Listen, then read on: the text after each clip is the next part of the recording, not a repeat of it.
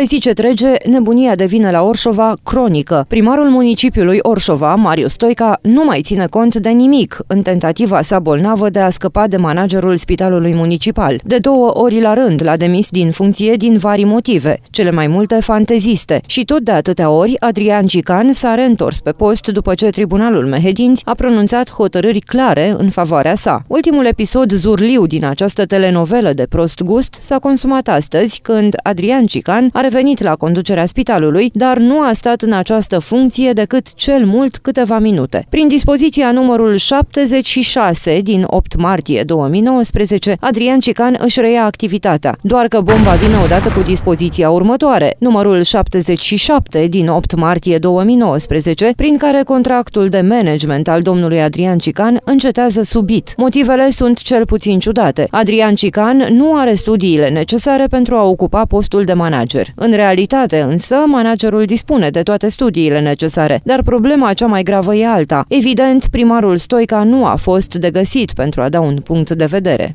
Persoana căutată nu are căsuță vocală Vodafone Vox.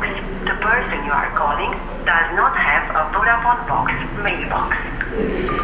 Am încercat să-l contactăm telefonic pe primarul municipiului Orșova, Marius Stoica. Acesta nu este de găsit. În urma gesturilor irresponsabile ale primarului, efectele nu întârzie să apară. Medicii fug din spital, se desfințează secții și situația este din ce în ce mai gravă. Nimic din toate acestea nu are importanță însă pentru un primar care oricum nu poate face diferența între ura personală și binele comunității.